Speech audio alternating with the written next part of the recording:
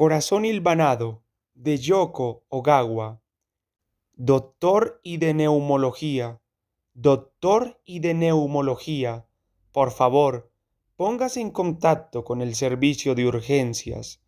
La llamada llevaba cinco minutos repitiéndose por la megafonía del hospital y me pregunté quién sería aquel doctor mientras contemplaba inmóvil el intrigado plano del hospital que supuestamente habría de indicarme cómo llegar hasta la sala deseada, rebosante de palabras inhabituales para mí, archivo de historiales médicos, sala de tratamiento por ondas de choque, UCI, salón de congresos, centro de endoscopia.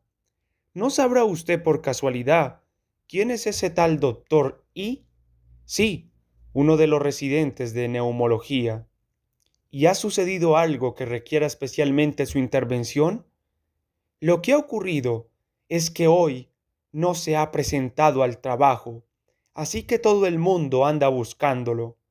La chica del mostrador de información contestó con amabilidad, aunque no de muy buen agrado, mis inoportunas preguntas, pensando sin duda que el asunto no me incumbía lo más mínimo. Disculpe, ¿me podría indicar cómo llegar a cirugía cardiovascular? Pregunté por fin. Pronuncié cada palabra despacio, sin atolondrarme, tratando de evitar dar rienda suelta a mi caprichoso ritmo cardíaco, que tendía a desbocarse ante la menor alteración. Ascensor de enfrente, séptima planta replicó seca la joven, señalando al otro lado de la recepción. Me fijé en que el esmalte de la uña de su índice estaba cuarteado y medio desprendido.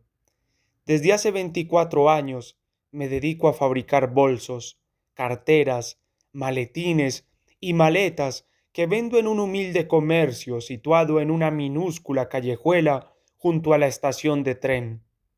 Se trata de un local de apenas 26 metros cuadrados, realmente angosto, pero agraciado con un escaparate bastante amplio, una mesa con sus correspondientes sillas, un gran espejo vertical, un mueble repleto de cajones, perfecto para guardar el material de trabajo, y, al fondo, separado por cortinas del espacio de venta, un modesto taller Confecciono desde pequeños y elegantes bolsos, ideales para fiestas, hasta maletas de viaje, pasando por sofisticados bolsos de piel de avestruz, un amplio abanico de artículos que con indisimulado orgullo exhibo en el escaparate del local, donde unos pocos maniquís los muestran a los transeúntes con ese aire afectado que los caracteriza.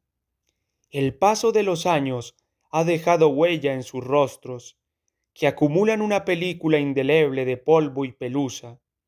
He de reconocer que no he modificado el escaparate desde que abrí la tienda, y que los maniquís permanecen en el mismo lugar y con la misma pose con que los dispuse hace años. Mi vivienda, justo encima del local, se compone de dos estancias, una cocina que hace las veces de comedor y una sala de estar que hace las propias de dormitorio.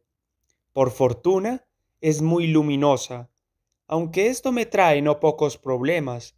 Por ejemplo, cuando me distraigo durante las tardes despejadas de invierno y el sol se cuela por las ventanas para bañar la jaula de mi hámster, que debe de ser alérgico a los rayos del sol porque se pone enfermo si le dan directamente, y entonces corro a poner la jaula debajo del lavabo, el lugar más fresquito de la casa. Al anochecer y tras la jornada laboral, abandono el taller y subo al piso superior. Me quito la ropa de trabajo y me doy una ducha. Ceno y me quedo de brazos cruzados, sin saber qué hacer. Me sobra tiempo Tantos años de vida en soledad han acabado erosionando las aristas de mis días, cosa que no le ocurre a alguien con familia. En una persona con responsabilidades familiares, todo está lleno, ocupado. Tendría que fregar el suelo de la ducha, cambiar las toallas, cortar queso o preparar el aliño para la cena. ¿Qué sé yo? Pero la mía no pasa de ser una existencia solitaria y sencilla, que no requiere más que actos sencillos para sustentarse y prolongarse indefinidamente. En comparación con mi ramplona vida, la creación y elaboración de bolsos y maletines me ofrece posibilidades inagotables y, una vez acabados, me satisface enormemente contemplarlos y acariciarlos, sabiendo que proceden de mis manos. Nunca me canso de hacerlo. No sólo la concepción originaria de la idea corre de mi cuenta, también planifico de antemano los más sutiles detalles que compondrán el bolso, el tipo de brillo que producirán los adornos metálicos o el número de puntadas que debo dar. Dibujo bocetos, creo los patrones de papel que me sirven de plantilla para cortar el material y, finalmente, coso yo mismo cada pieza. Ver cómo el bolso va tomando forma me llena de una felicidad inenarrable. Experimento el universo entero y me siento traspasado por sus leyes, que se concentran y despliegan su acción en las yemas de mis dedos y entre el reducido volumen de espacio que mis manos abarcan. Pero algún lector reflexivo tal vez elevaría una protesta tan pertinente como sensata. ¿A qué viene tanta exaltación ¿No son acaso un maletín y un bolso meros objetos para transportar otros objetos? Pues sí, esa es la clave del asunto. No guardan ellas. Me referiré a mis creaciones como ellas, si me lo permiten. Aspiración alguna para sí, ni buscan protagonismo o función relevante, ni siquiera ser amadas por sus dueñas. Solo anhelan resguardar en su seno los más diversos objetos y que la sujeten cuidadosos brazos y manos, haciendo gala de elegante discreción, de serena contención y paciencia. Esa es su única aspiración. Termino la cena, bajo la intensidad de la luz, para dejar la sala en penumbra, y, con una taza de té chino en las manos, me siento en el sofá, junto a la ventana, a contemplar la calle mientras sorbo perezosamente el té. Saboreo con especial deleite las noches de luna llena, porque al vivir en una callejuela oscura, apenas transitada y con alumbrado eléctrico nimio, la luz plateada del astro baña el pavimento sin obstáculos, dándole todo su esplendor. Y no hay nada mejor que ver esa luz argentada desparramarse sobre mis creaciones bajo aquella atmósfera irreal transitada por oficinistas que regresan de su trabajo a horas intempestivas, chicas de alterne y tristes borrachos o parejas noctámbulas, el bolso, cartera o maletín que cada transeúnte lleva consigo representa fielmente, en función de su forma y color, su estilo de vida. Veo pasar a alguien con una cartera de base abultada por el peso de su contenido, asa mugrienta y dos llamativas rosaduras, o me fijo en una mujer cuyo bolso gastado y descolorido ofrece un contorno sinuoso que hace resaltar la redondez del rostro de su dueña. La luz de la luna me permite atisbar las expresiones de los viandantes y, Justo cuando alguien pasa ante el escaparate de mi humilde tienda, experimento una momentánea eclosión de complacencia y gozo. Mi hámster corretea en bucle, haciendo girar la rueda de su jaula a poca distancia de mis pies, y yo apago la luz de la estancia y permito que sea la luna la que veladamente ilumine el interior. Lo hago por mi hámster, a él le gusta la penumbra y en la noche se encuentra a sus anchas. Es un animal muy pacífico, nunca se le escapa un chillido y se limita a ocasionales estornudos tan suaves como efímeros, que no llegan a enturbiar la quietud del ambiente. Reparo en una joven que se interna en la callejuela, enfundada en una blusa ligerísima, con un bolso colgado del hombro, y cuyo broche metálico lanza destellos dorados al ritmo del balanceo de sus caderas. Más tarde pasa una muchacha cuyos dedos tensos se aferran con todas sus fuerzas a las correas de una bolsa de viaje, hundidos como si fueran a fundirse con el cuero mismo. Me figuro que su interior contiene algo de suma importancia, y me recreo en la contemplación del temblor de la bolsa a cada paso de ella, cada vez que roza sus muslos, como si tratara de sujetarse a ellos. Sorbo el té y echo un vistazo al hámster, que se afana en acumular pipas de girasol en sus carrillos. Siento punzadas de dolor en las manos, cruel retribución de una jornada entera dedicada a la aguja y al punzón. No me considero uno de esos artesanos que, ya sea por arrogancia o por pereza, les ponen pegas a los encargos particulares que reciben. Procedan estos de quien procedan y sean de la naturaleza y dificultad que fueren. Me adapto con facilidad a los deseos del cliente y busco su satisfacción ofreciéndole un resultado de calidad y que se adapte al fin que el cliente desea darle al bolso, bolsa o maletín.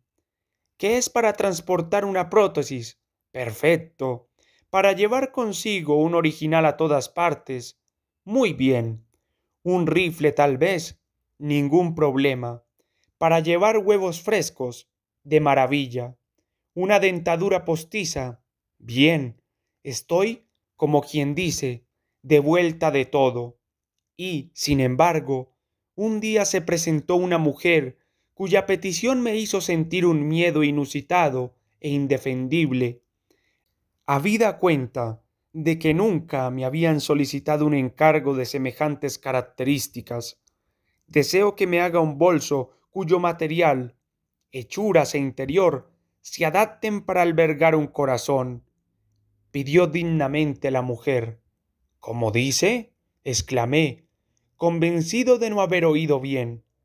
Carraspé tratando de ocultar mi desconcierto, y la invité a tomar asiento en una silla, cosa a la que ella accedió tras despojarse del abrigo y dejarlo colgado en el respaldo.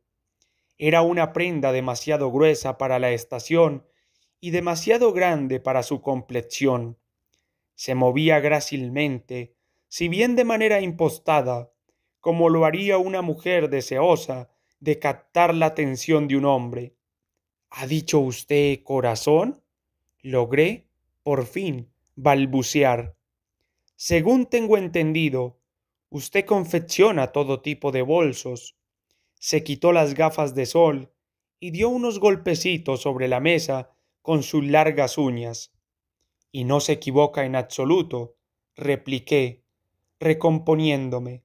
Dejé pasar unos instantes para serenar el ambiente, y luego puse ante ella mi álbum de diseños y lo abrí con lentitud. Veamos. Un bolso cuyo principal propósito sea transportar un corazón, ¿verdad? Dije impasible. Así es. En su voz se agazapaba una frialdad capaz de congelarle los tímpanos a cualquiera. Me causó una impresión enorme. Era alta y esbelta, y de hombros caídos. Pensé que un bolso para colgarse al hombro no encajaría con ella. Su cabello ligeramente ondulado le serpenteaba por la espalda hasta cubrirle los omoplatos. Durante nuestro encuentro mantuvo sus ojos almendrados fijos en la superficie de la mesa, sin intención aparente de dirigirlos hacia mí. Desde luego, parecía asustada. Mi azoramiento no se disipaba. Aparte de lo inquietante del encargo, algo en ella me producía un especial desasosiego. Pensé que tal vez fuese el pequeño bolso que reposaba sobre sus rodillas. Dada mi profesión, suelo prestar atención a los bolsos de las clientas que tienen la deferencia de acercarse hasta mi tienda. En ellos veo una extensión de su personalidad. El de ella era de piel de cocodrilo, de buena calidad, pero deformado y sin lustre, debido tal vez al uso de un producto limpiador no apto para dicho tipo de piel. Era la más patente expresión del agotamiento de su dueña, un complemento que no estaba a la altura de la belleza de su voz. No sabe usted cuánto me alegro, apreció la mujer con inesperada camadería. Como podrá imaginarse, en más de un taller me han dado con la puerta en las narices. Se apartó el flequillo de la frente y echó un vistazo a los bolsos de piel expuestos sobre los anaqueles de una estantería. Fue entonces cuando reparé en el detalle que tanta desazón me había producido. Se trataba de un bulto en el lado izquierdo de su torso, en tanto que la mitad derecha no mostraba ninguna normalidad. Una hinchada deformidad, discreta pero evidente, recorría la izquierda desde la clavícula hasta el costado y rodeaba la protuberancia del seno izquierdo sin interferir con ella. Según descubrí muy pronto, el corazón de la mujer estaba situado en la parte externa del tórax. He probado todo tipo de materiales y tejidos, relató ella. Seda, algodón, nylon, vinilo, papel japonés, paja y plástico, sin éxito en ninguno de los casos.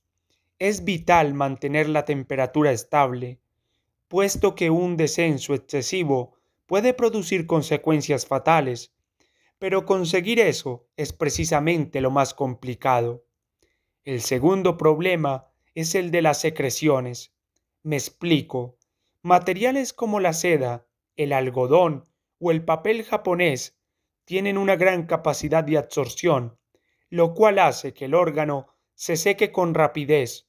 Por otro lado, el vinilo no transpira y, por tanto, en su superficie se forma una pegajosa película procedente de las secreciones.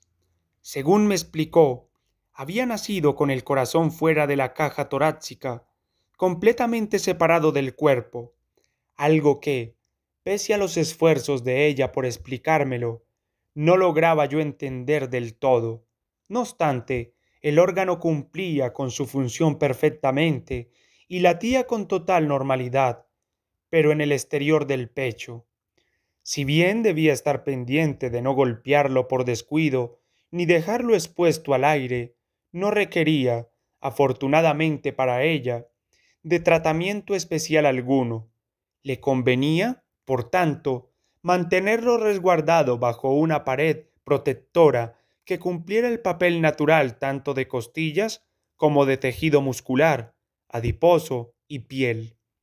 Si atendemos a la precisión léxica, una cubierta protectora como la que se me encargaba difícilmente se ajustaría a la acepción de la palabra bolso.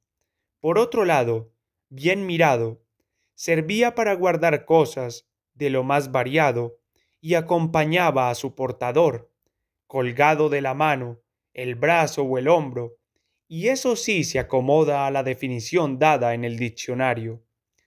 Creo que la piel de foca le vendría a la perfección. Propuse, extrayendo de la estantería un modelo confeccionado con dicha piel. Mire, es recia y suave al mismo tiempo, y conserva muy bien la temperatura y el grado de humedad. Tenga en cuenta que está hecho con la piel de un animal marino de frías aguas. Además, puede lavarse con agua y su mantenimiento es sencillo. ¿Qué le parece? La mujer lo tomó en sus manos. Me parece perfecto para albergar mi corazón, opinó mientras lo acariciaba y revisaba su interior. Luego añadió Tal vez la mayor dificultad sea darle la forma adecuada.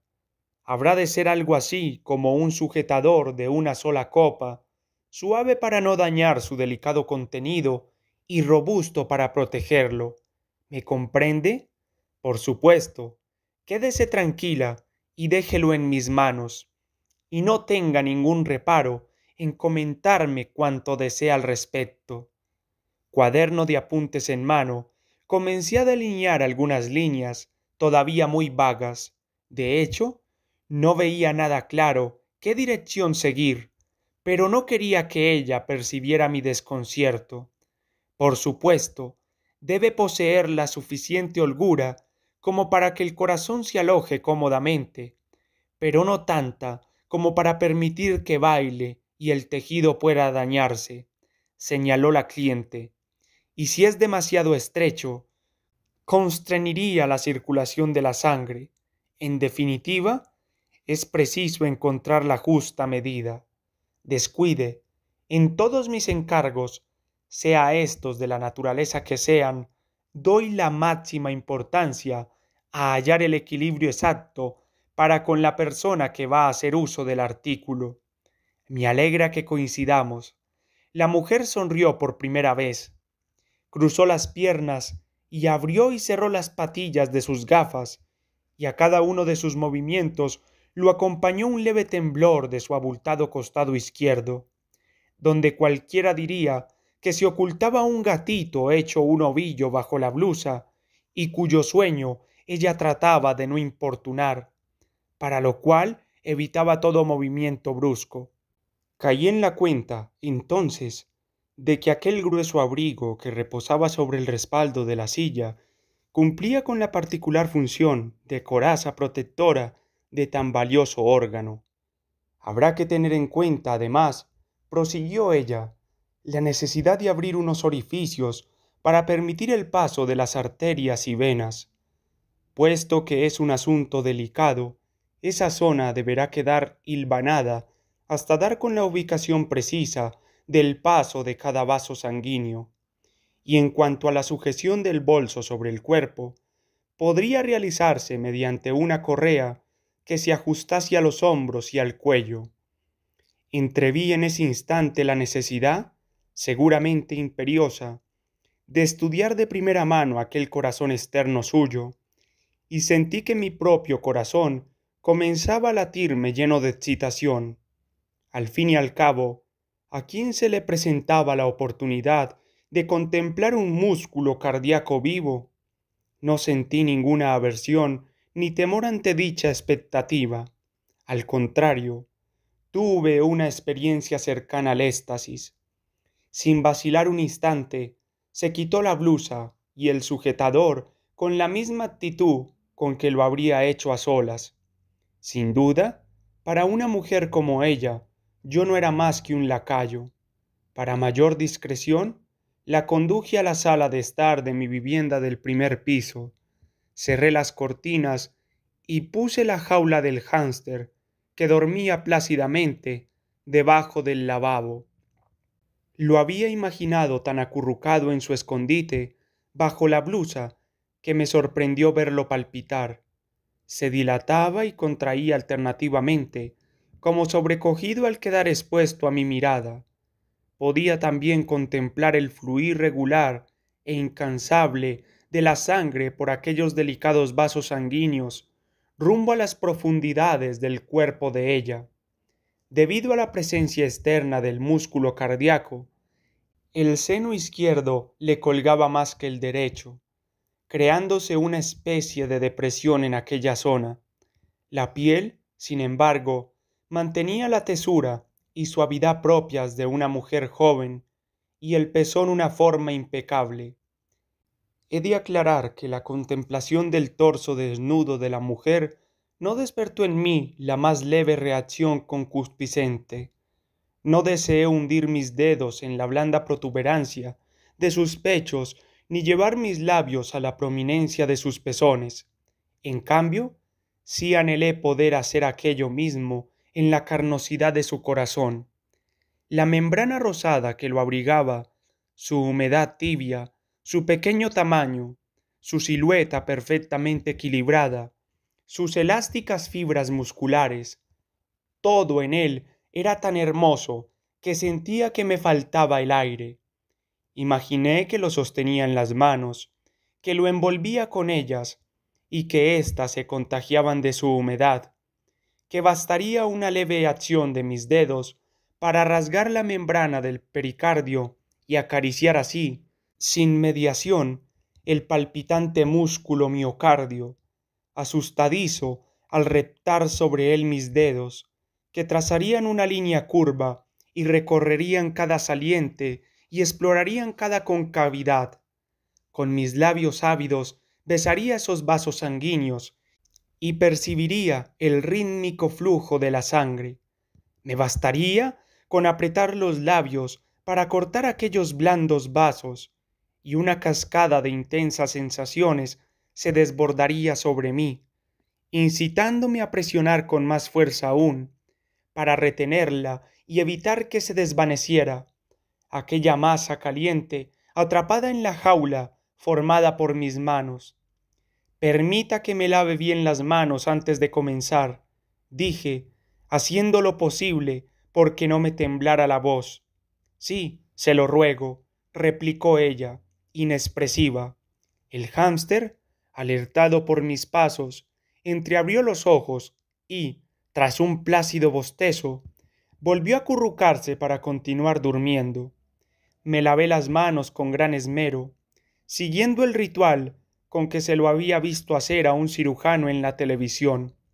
Primero hice abundante espuma con el jabón y luego froté con un cepillo las uñas, los dedos, el dorso, la palma y la muñeca, hasta alcanzar finalmente los codos. Pero seguía preguntándome qué hacer exactamente, por dónde empezar. La mera vista del corazón desnudo ante mí me sumió en un estado de abstracción rayana en la enajenación, y, mientras la mujer enderezaba su espalda desnuda y dejaba caer las manos, reparé una vez más en la notable caída de sus hombros, que bien podría deberse a la oquedad dejada por la ausencia de corazón en el interior de la caja torácica. Observé la presencia de un lunar en su hombro derecho, en un extremo de la clavícula. No había ni un gramo de tejido adiposo de más en su cuerpo. Mi deseo estaba a punto de hacerse realidad, pero mi ansia era tal que apenas me veía capaz de mirar el órgano latiente. Saqué fuerzas de flaqueza y me arrodillé, doblando una sola pierna, para acercar el rostro al corazón. Me dio la súbita impresión de haber menguado ante la mujer. Extendí la cinta métrica y tomé medidas de la masa palpitante, longitud, ancho mayor y ancho menor, grosor, diámetro de arterias y venas que lo mantenían conectado al cuerpo, separación entre vasos sanguíneos. A lo largo del proceso hice lo posible por no tocar su húmeda superficie, cosa que no fue fácil entre tanta maniobra, y para lo cual tuve que aguzar toda mi capacidad de concentración. Tenía miedo de rebanarle un trozo de pericardio con un mal movimiento de la cinta métrica y de producirle una infección. No ponga tantos reparos, dijo ella. Es más fuerte de lo que parece. De verdad, no se preocupe se necesita tocarlo. Parecía haber adivinado mi cauto estado de ánimo, pero sobre todo me sorprendió la desinhibición que mostraba ante esa extraña situación. La cercanía de un desconocido cuyas manos arropaban, aun sin tocarlo, su corazón desprotegido. En contraste con el aplomo de la mujer, su corazón perpetuaba sus contracciones, asustadizo, provocando espasmos en los vasos sanguíneos con cada bombeo de sangre. Su masa muscular mostraba un patrón apreciable a simple vista si uno se acercaba lo suficiente, semejante a un código arcano e indescifrable. Me temo que bajé la guardia tan solo un instante, pero bastó para que las yemas de mis dedos se posaran sobre la carne trémula. Mis dedos experimentaron una calidez que jamás había sentido antes, y que se transmitió como un rayo al resto de mi cuerpo, y me envolvió, induciéndome prácticamente un trance. La cinta métrica cayó a mis pies. Discúlpeme, la voz escapó reseca de mi garganta. Recogí la cinta. La mujer no despegó los labios, ni su cuerpo se desplazó un ápice. El tacto en mis dedos aún no se había desvanecido. Oí el insignificante chapoteo que mi hámster producía con la lengua al beber agua. Se habría despertado de su sueño. La mujer era cantante en un bar de nombre Ere. Tras terminar la frase preliminar del bolso, los silbanes sin retirar, que resguardaría su corazón, me acerqué a verla actuar sin decírselo. Por lo que se refiere a mis clientes, no soy dado a mantener conversaciones banales ni a rebasar las lindes de mi profesión para mantener contacto de ningún tipo, pero en aquella ocasión, y por primera vez en mi vida, traté de encontrarme con una más allá de las cuatro paredes de la tienda. Si me permiten unas palabras a modo de excusa, les diré que mi intención no era verla a ella, sino a su músculo cardíaco. Quería saber, más allá de mi experiencia directa con él, cómo era y qué trato recibía me encontré en un lugar más amplio y acogedor de lo que había imaginado. Me alivió pensar que podría pasar desapercibido a ojos de ella y concentrar mi atención cómodamente en su corazón. Las mesas parecían ubicadas sin orden y concierto, y exhibían ese brillo opaco propio de años de exposición al humo del tabaco y a las manchas de alcohol. Tomé asiento en una de las más apartadas, el suelo de madera estaba muy gastado y lleno de cáscaras de cacahuate, y en pie, junto a un piano, se encontraba ella, iluminada por la luz anaranjada de un foco que la apuntaba en exclusiva. Le pedí al camarero una cerveza, aunque me habría servido cualquier otra bebida, porque no bebo alcohol, y no pensaba dar un solo sorbo. El camarero depositó un platito lleno de cacahuates sobre la mesa y se marchó.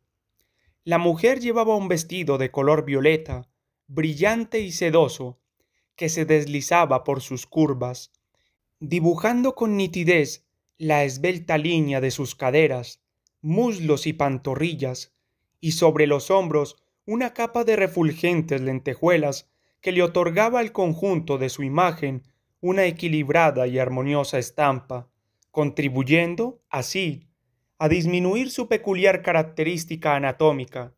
Me pregunté cuántas personas de aquella sala estaban al corriente y deslicé una subrepticia mirada a mi alrededor para comprobar que nadie prestaba atención al flanco izquierdo de ella. El local se había llenado y los clientes sorbían distraídos sus bebidas alcohólicas. Solo yo adivinaba aquel levísimo abultamiento bajo la capa e interpretaba la contención en el movimiento de su brazo izquierdo.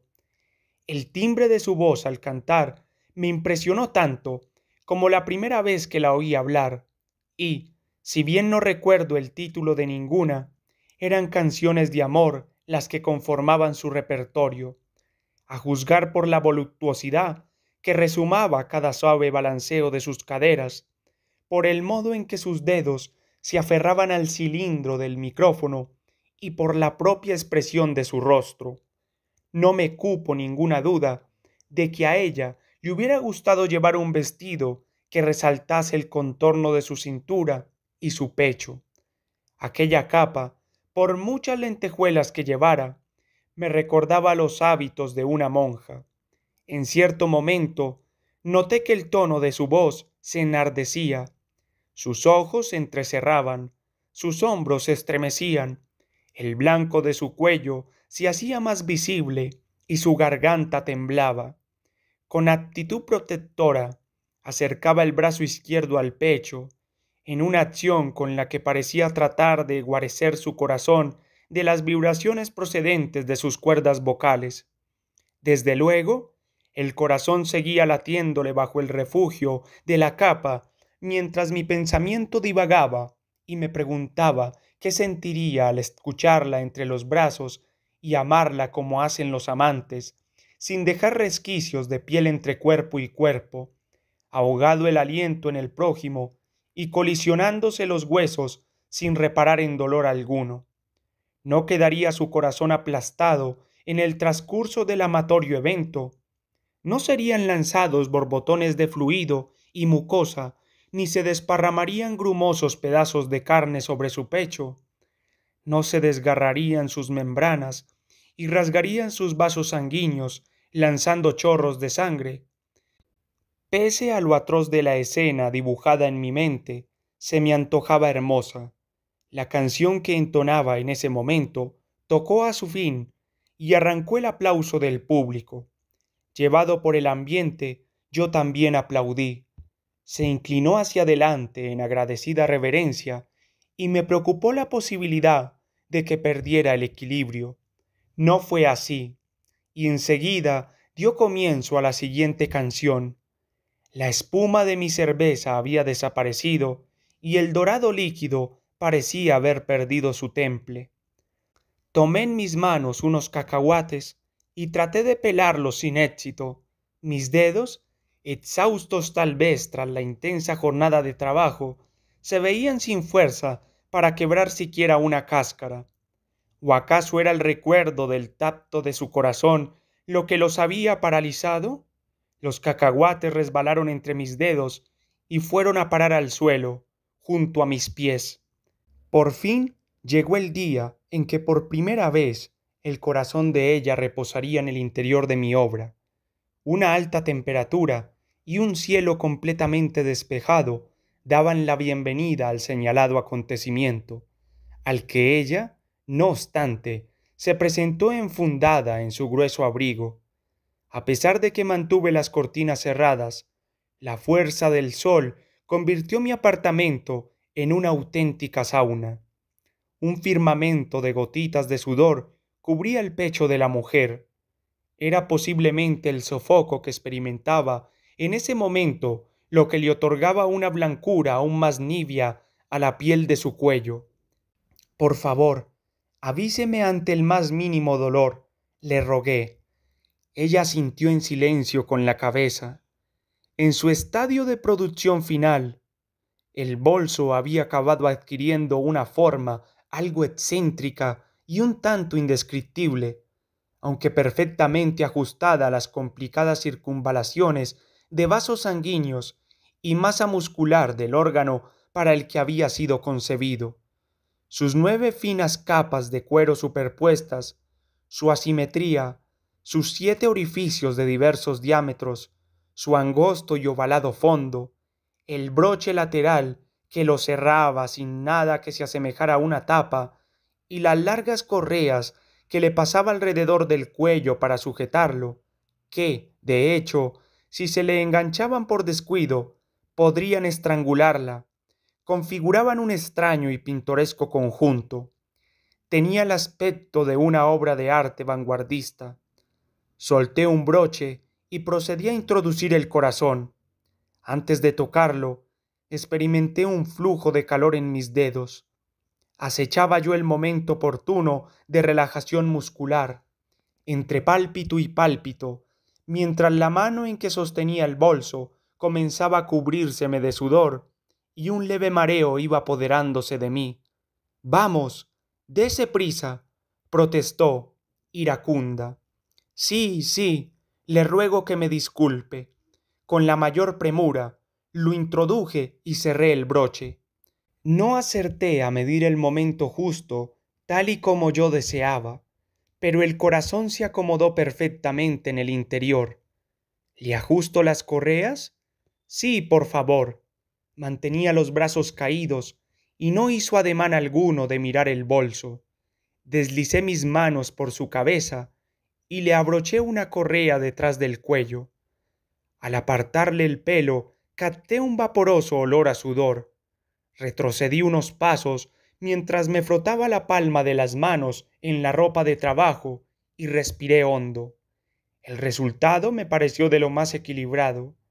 La curvatura con que el bolso se adaptaba a la forma del pecho, la armonía del lustre del cuerpo y el tono de su piel el rítmico flujo sanguíneo y la onda que recorría la superficie con cada latido, la correa acomodada al cuello. Todo ello confería a mi obra una imagen insólita de unidad y perfección. Situé ante ella el gran espejo vertical. Su blusa y su combinación reposaban sobre el sofá, y el eco de la megafonía de una estación de tren se oyó a lo lejos. El orificio de la más fina de las dos arterias pulmonares me tira un poco, está demasiado alto. Señaló ella mientras accionaba los brazos en distintos sentidos y subía y bajaba los hombros. ¿Cree que podría ajustarlo? Por supuesto. Todavía no es más que un prototipo. El caso es que el bolso respondía a cada uno de los movimientos de ella, adaptándose sumiso a estos, sin tensiones ni tirones, como si se tratara de un fiel guardián que hubiera custodiado su corazón desde su nacimiento. Es muy cómodo y ligero, solamente el broche me roza levemente a un lado. No le ocasionaría demasiado trastorno cambiarlo de lugar, ¿verdad? Ninguno. Puedo desplazarlo a una posición más frontal. Sí, por favor. Yo no levantaba la vista de mi creación mientras hablaba con ella, que no estaba convencida del todo, y tiraba de las correas tratando de aflojarlas, daba cortos saltitos o fingía sujetar un micrófono. ¿Y eso de ahí qué es? preguntó de pronto, apuntando hacia una pequeña bolsa de cuero situada en un estante junto al lavabo. Ah, es de mi hámster, contesté mientras le servía otro té. No me diga, pero ¿para qué necesita un hámster una bolsa así? Había vuelto a ponerse la blusa. Yo dejé cuidadosamente el bolso sobre la mesa. En ella llevo a mi hámster cuando lo saco de casa para dar un paseo. Expliqué y añadí a modo de apostilla se porta muy bien. ¿Lo ha confeccionado usted mismo? Así es. Vaya, qué maravilla, dijo, mirándolo con admiración. Sin embargo, aquella era una obra infinitamente más sencilla que la que me mantenía ocupado aquellos días para el corazón de la mujer. No pasaba de ser más que un bolso tipo bandolera al que le había abierto unos orificios para evitar que el animal se asfixiara cuando cerraba la cremallera. La verdad es que me sorprende la cantidad de modelos de bolso que hay en función del uso que se le desee dar y lo que se quiera transportar en ellos, comentó. Es cierto. Sorbité y reparé una vez más en la fuerza de la luz del sol que la cortina a duras penas bloqueaba. Por fin iba logrando otorgarle su acabado definitivo al bolso del corazón de la mujer, con un suave color crema bien equilibrado, con el de su propia piel, y todos los cortes, costuras y puntadas en su lugar preciso, sin desviarse un solo milímetro de donde debía corresponderles. Pasaba yo los días consagrado a la tarea, devoto a la mesa de trabajo. Puse en la puerta de la tienda un cartel que rezaba en estos momentos me encuentro ausente. Disculpen las molestias. No deseaba recibir ningún otro encargo hasta haber terminado el que me ocupaba entonces. Hube incluso de rechazar la solicitud de arreglo de una caja de cosméticos que había confeccionado cinco años antes para una de mis más fieles clientas. Me encuentro en cama, enfermo. Fue la excusa que, para mi propia sorpresa, esgrimí sin que me temblara la voz ni el pulso. Nada, ni el nerviosismo en tales casos, ni la arrebatada exaltación que me producía la visión y el recuerdo del corazón de la mujer, condicionaba la firmeza y seguridad con que siempre afrontaba mi trabajo. Fiel a mí, me acompañaba mi propia convicción, demostrada a lo largo y ancho de mi carrera, de ser un artesano único, capaz de elaborar bolsos y maletas de una calidad estética y técnica inigualable. Entretanto, mi hámster murió. Me pregunté si la causa serían las altas temperaturas que habían convertido el apartamento en un horno, o mi acérrima obcecación en el trabajo, que podía tal vez haberme llevado a descuidar las atenciones que requería el pequeño animal, aunque, bien pensado, no creo que fuera esto último, puesto que no olvidé servirle sus habituales verduras frescas, ni dejé pasar un solo día sin limpiarle la jaula. No obstante, murió.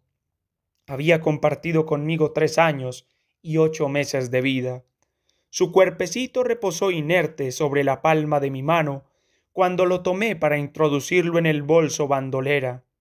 La boca entreabierta permitía atisbar sus incisivos, en tanto que sus ojillos permanecían fijos, congelados en un punto lejano del espacio, y su pelaje, todavía liso y suave, transmitía un tacto frío.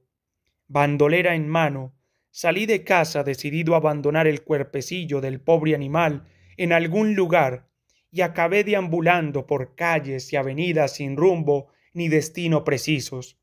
Recorrí el paseo de la ribera del río, atravesé el parque y rodé la laguna, pero no me decidí a dejarlo en ninguno de aquellos parajes. En alguna ocasión abrí la cremallera de la bandolera, esperando que todo hubiera sido un error, considerando la posibilidad de encontrarlo despierto y moviendo sus patas. Por supuesto, era un vano anhelo. El hámster permanecía tan inmóvil y muerto como cuando lo metí en el bolso. Cansado de caminar y arrastrado por cierta inercia, me adentré en un local donde servían hamburguesas. Apenas probé bocado y dejé a medio acabar una de ellas y las patatas fritas. Apuré, sin embargo, el café hasta la última gota, pese a lo malo que era. No me pregunten por qué, pero finalmente me decanté por dar reposo al hámster junto a los desperdicios de mi bandeja de comida, en el contenedor de basura. Lo hice con agilidad, sacándolo de la bandolera y ocultándolo en la bandeja, sin que nadie llegara a reparar en mi maniobra. Al menos eso creo. Supongo que el pobre acabaría embadurnado de salsa de tomate. ¿Sí? ¿Qué se le ofrece? pregunté, casi como un acto reflejo.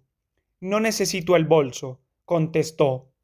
Extrajo un cigarrillo de su bolso y se lo llevó a los labios. Lo encendió. Bueno, Estoy dándole los toques finales, expliqué. Será cuestión de un par de días, tres a lo sumo. Soy consciente del trastorno que supone para usted la cancelación del encargo a estas alturas. La mujer dio una larga calada al cigarrillo y exhaló el humo con lentitud. Yo misma me siento algo desconcertada. Seguí con la mirada la dirección de la columna de humo sin que se me ocurriera ninguna réplica. Tiempo atrás, prosiguió ella, consideré la posibilidad de someterme a una intervención quirúrgica, pero, advertida del riesgo que conllevaba, nunca me había decidido a dar el paso. Pero las cosas han cambiado desde que fui a un nuevo hospital. Su jefe de cirugía cardiovascular merece toda mi confianza, y me han asegurado que disponen de la tecnología más avanzada para este tipo de operaciones. Por lo visto, se trata de una innovación reciente. Desde luego, a mí todo eso me sonaba a palabras que se lleva el viento. Lo único que de verdad importaba era el magnífico bolso que estaba a punto de terminar y que debía albergar su corazón. La próxima semana me ingresan. Me operarán enseguida y mi corazón ocupará el lugar donde siempre habría debido estar. La mujer miró de soslayo el bulto de su costado izquierdo. Fue una mirada tan breve como llena de desprecio. Permítame que le recuerde, intervine, que se trata de un bolso magnífico, excepcional. Mire, sujételo, por favor. ¿Ve? El orificio por donde transita la arteria pulmonar, la más fina de ambas, ocupa ahora el lugar adecuado. Y observe el broche. Es más pequeño que el anterior y está perfectamente situado. Estoy convencido de que no tendrá ninguna queja al respecto. Abrí el bolso ante ella para mostrárselo. Solo queda asegurar esta zona de aquí con unas puntadas y ajustar la nueva posición de la correa, añadí, y, una vez hecho eso, ya lo tiene usted listo para su uso. Voy a pagarle el importe íntegro del bolso. Por eso no se preocupe. Pero, ¿qué utilidad le voy a dar después de la operación? Comprenderá usted que ninguna. Contemple la espléndida belleza de su acabado. Recréese en la delicada línea de su contorno. Un producto artesanal de la calidad del que aquí ve no va a encontrar en ningún otro sitio, se lo garantizo.